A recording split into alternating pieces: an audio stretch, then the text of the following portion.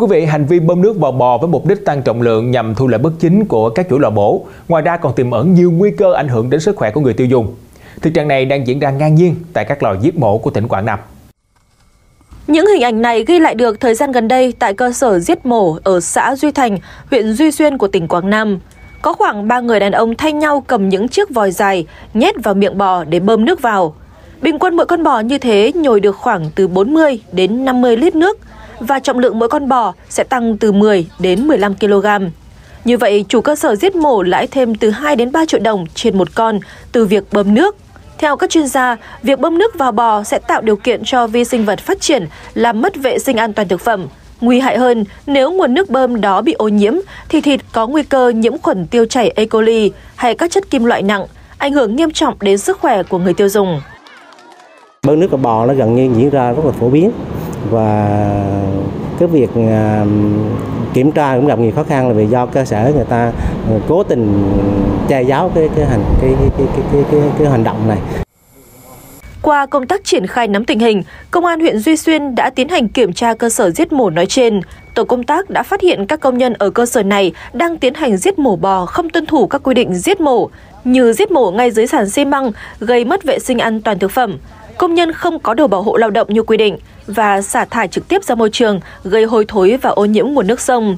Tuy nhiên, điều đáng nói là sau khi lấy nội tạng ra rửa qua, thì công nhân lại ngâm số nội tạng đó vào một thùng chứa nước vôi. Theo lý giải của người này, thì mục đích là để nội tạng được trắng và giòn hơn khi chế biến. Tại cơ sở ờ, giết mổ của ông Lê Trung Cảnh của xã Di Thành, huyện Duy Xuyên thì ờ, lực lượng sát môi trường tiến hành kiểm tra cơ sở giết mổ.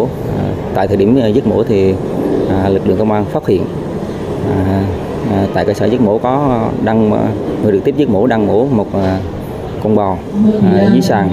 Và việc người trực tiếp là không đeo bảo hộ lao động. Gây không đảm bảo vệ sinh còn thực phẩm. Việc xả thải đối với sàn giết mổ là ra ra sông không đảm bảo môi trường đối với người trực tiếp ờ, làm ờ, nội tạng thì ờ, dùng vôi bỏ vào vòi xô để làm cho trắng nội tạng để bán ra thị trường gây ảnh hưởng sức khỏe đến người dân. Được biết, quá trình bơm nước vào bò và giết mổ bò mất vệ sinh an toàn thực phẩm, cũng như làm ô nhiễm môi trường nguồn nước sông diễn ra trong thời gian dài mà không chịu sự giám sát của các cơ quan chức năng. Điều này cho thấy lĩnh vực vệ sinh an toàn thực phẩm ở cơ sở giết mổ tại Quảng Nam chưa được quan tâm. Theo ghi nhận của cơ quan chức năng và phản ánh của một số doanh nghiệp, có tình trạng mạo danh mã số vùng trồng sầu riêng để xuất khẩu hàng sang Trung Quốc. Tri cục Kiểm dịch thực vật vùng 7 cho biết hiện đơn vị này đang tạm dừng xuất khẩu hai container sầu riêng sang Trung Quốc.